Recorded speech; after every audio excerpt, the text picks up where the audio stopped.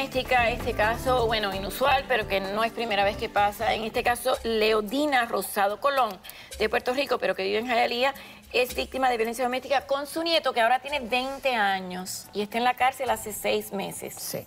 Y ahora va a ir para bootcamp. A ver, cuénteme, ¿usted tiene ese niño desde los cinco meses que le quitan el niño a su hija? No, eh, ella se fue de aquí, de la Florida, porque ella vivía aquí, el niño nació aquí. Ella se fue cuando él tenía cinco meses. Cinco meses. Para Puerto Rico conmigo, o sea, en mi casa. Entonces, pero pues no lo atendía como debía, la que lo atendía era yo. O sea, usted es la mamá de ese niño. Ajá. ¿Pero por qué le quitan la custodia a ella a los cinco meses? Por problemas que ella tenía. ¿Drogas? Sí. Por drogas. Y entonces yo siempre cuidaba, cuidaba del niño, pero cuando tuvo un año y medio, yo le pregunté a ella si ella quería que yo, porque yo me vine para acá con mi hijo, yo tengo un hijo aquí. Okay. Entonces me dijo que, que sí, que me lo traera. Si era que no me iba a quedar todo el tiempo con él. Le dije, no, está bien, pero queríamos que ella viniera para acá. Pero ella también estuvo presa. Sí. ¿Cuánto tiempo y por qué? ¿Por drogas? Tres años. Tres años. ¿Aquí o en Puerto Rico? En Puerto Rico. En Puerto Rico. ¿Ella se ocupaba de ese niño? Al principio sí. Al, principio sí. Los primeros cinco meses. Ajá. Pero ya después, pues ella le, le, gustaba salir, ¿sabes? Y llegar tarde. La que lo cuidaba siempre era yo. Ok. ¿Cómo va la evolución de ese niño cuando llega a ser un teenager, 13, 14 años? ¿Cuándo empieza a ser rebelde? Cuando, después de 14 años, ya para 15 años, él empezó a a portarse mal en la escuela. Y yo ¿Vivía en su casa? Sí, vivía conmigo. Vivía conmigo. No, no, no, conmigo. Ah, conmigo. con usted nada más. Sí, conmigo. Mi hijo vivía Entonces, ¿qué pasaba en la escuela? Faltaba, se, se limpiaba de la escuela. Esquipiaba, esquipiaba. En Rico, sí. No, pero Jaelia se dice esquipiar también. también. Se dice, ah, okay. sí. ¿Y entonces qué usted hacía para castigarlo? No, yo iba, me llamaban de la escuela, yo iba, yo iba muchas veces a la escuela a ver a verlo, a ver por qué hacía las cosas y qué sé yo. ¿Qué fue lo um, peor que le hizo su nieto a usted? Lo peor que me hizo. Lo peor. Romper puerta a puños y a patadas. Yo tuve que, que poner cuatro puertas en la casa que yo vivía. Viví ocho años en esa casa, alquilada, pero con él. ¿Y la encerró en un cuarto? Un día, no, me cerró la puerta de salida porque cada vez que él se ponía bravo, rompía cosas, nunca me pegó. Pero sí rompía, me rompía cosas. Me rompía teléfono, rompía las puertas a puño y a patadas. ¿Le cogió la llave del auto que eh, usted no No, eso fue la última vez. lo, último que hizo, que por eso está preso, fue que me, que me arrebató las llaves de la mano y se llevó el carro. Me rompió el teléfono. Primero me rompió el teléfono, me quitó la llave y se fue. ¿Por qué el teléfono? porque yo traté de llamar al 911 y él se dio cuenta. ¿Ya usted había llamado al 911 antes? Sí. ¿Y qué pasaba? ¿Llegaba la policía? Sí, llegaba la policía, muchas veces lo llevaron a Citru para, para tratamiento. Es un lugar de problemas mentales. Ajá, sí, Entonces él, que quizás le pusieron esa ley de 48 horas, de 72 horas, que si tiene problemas mentales lo pueden institucionalizar en contra de su voluntad. No, ahora, eh, eso in Citro lo tenían cuatro o cinco días, le daban medicamentos, pero después me lo mandaban, o sea, lo mandaban para la casa. Ok, ok, pero entonces, a ver, ya usted había llamado a la policía esta última vez. ¿Alguien vio esto y llamó a la policía? Sí, porque esta última vez fue que él, él llegó esa noche, él no estaba ya viviendo conmigo, vivía con los amigos. Ah, ya no estaba viviendo con usted. Pero llegó a la una de la mañana, ya yo tengo un apartamento pequeño para mí sola ya yo no vivo en una casa cómoda. Bueno, llegué a la casa porque él a veces se quedaba con los amigos, a veces estaba en la calle. Llegó a la una de la mañana y me tocó la puerta. Ya él no debe ir a ese apartamento porque ese apartamento es para mí sola. ¿Había una orden de alejamiento? No, no, no, ahora no. Cuando eso no. ¿Usted le abrió la puerta? Sí, yo miré por la ventana y, y abrí la puerta, pero le dije, ay, por favor, mi hijo, no no toque, porque él toca duro, ¿sabes? ¿Qué quería a la una de la mañana? Bueno, llegar a la casa, acostarse a dormir un rato y irse por la mañana otra vez. Entonces. Entonces yo le dije, no, mi amor, no, no puedes entrar, tú sabes que si los vecinos me acusan, a mí me sacan de aquí. Ah, ya, ya, porque vive en un lugar de bajos recursos. Exacto, Entonces, para mí solita. ¿quién llamó a la policía? No, no, en ese momento yo, yo le puse las manos así y le dije, por favor, no entre mi hijo, por favor, porque me van a botar a mí de aquí. Era la una de la mañana, él tocó bien duro.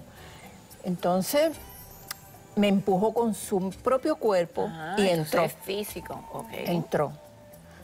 Y se, sentó en el sofá y me dijo, no te preocupes, que yo por la mañana me voy temprano. Pero por la mañana yo me levanté a las seis y le dije, Anthony, levántate, mi amor, que, que no quiero que los vecinos se den cuenta. Porque si le dicen a los dueños, yo voy a salir de aquí. ¿Y entonces? Me dijo que no, que no se iba a ir. Que, iba, que quería que yo lo llevara a la librería, donde él iba a chequear un, un pasaje para irse para Puerto Rico. Yo le dije, es temprano, la librería la abren tarde.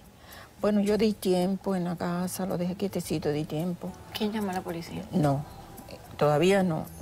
Yo di tiempo y como a las 8 le dije, bueno, yo te voy a llevar a la librería, pero sabes que la librería todavía no la abren, la abren más tarde. Y yo para salir de eso y que él no me formara un revolú, pues me fui con él a la librería. Llegamos a la librería, ya no eran ni las nueve, todavía estaba cerrada y le dije, la librería está cerrada, mi hijo, yo te lo dije.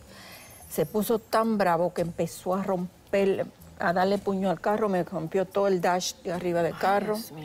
Entonces yo salí con el teléfono en la mano, salí por la puerta del chofer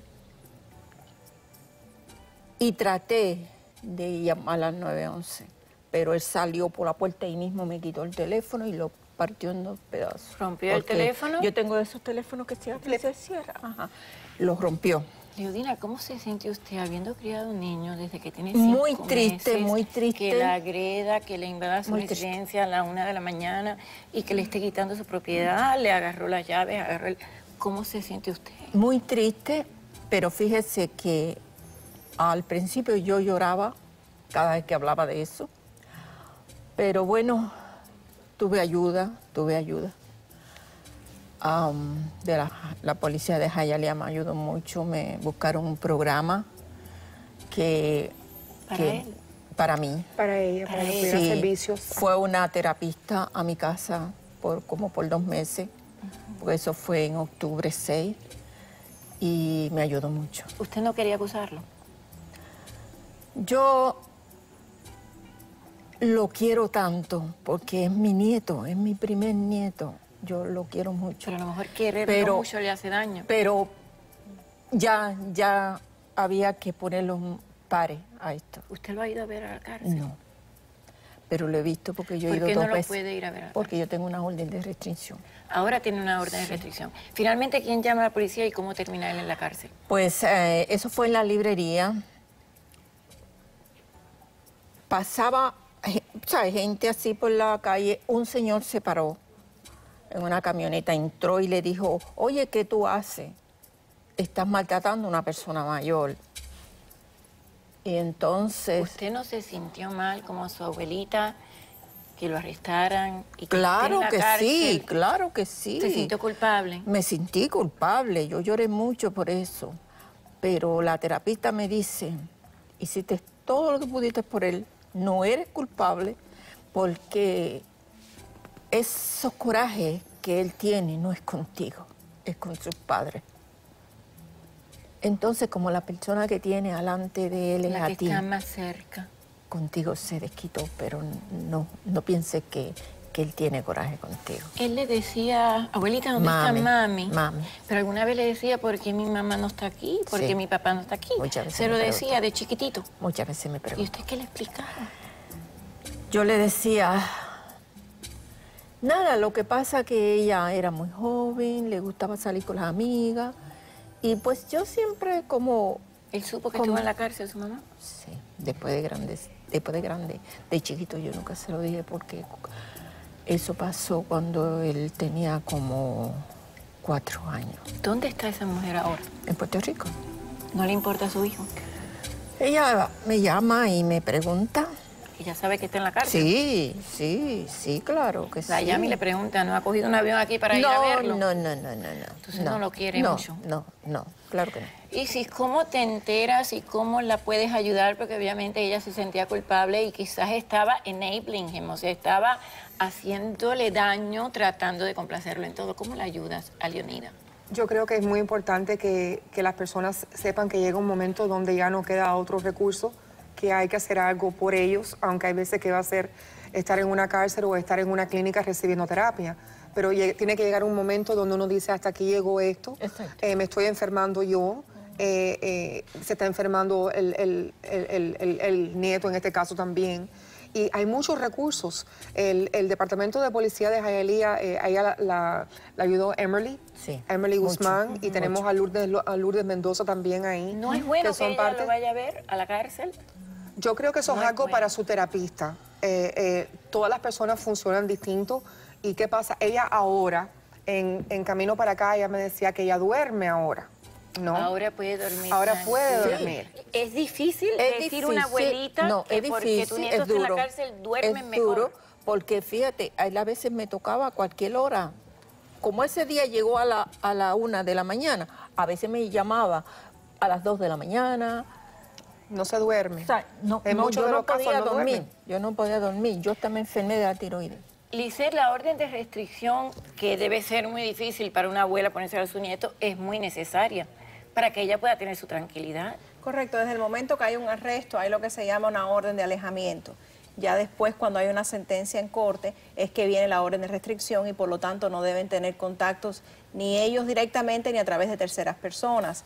Y cuando son los casos en contra de personas mayores, mayores de 65 años, niños o mujeres embarazadas, en esos casos cualquier cargo es con agravante. Así que por lo tanto se convierte de un delito menor, que es un misdemeanor, a una felonía, que es un delito mayor.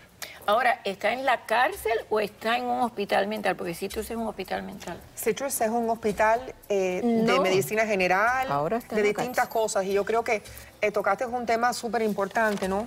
Porque ¿qué pasa? Que muchas personas piensan que Citrus nada más es para personas con problemas emocionales. Pero ahí es un perfecto lugar para cualquier persona que está siendo abusada de ir porque tienen todos los tipos de, de, de, ¿Y ramas ustedes están que les haciendo puedan... una campaña contra la violencia doméstica. Sí, Citrus ha hecho muy buena labor con nosotros y ve muchas de las víctimas ahí también de. Ok.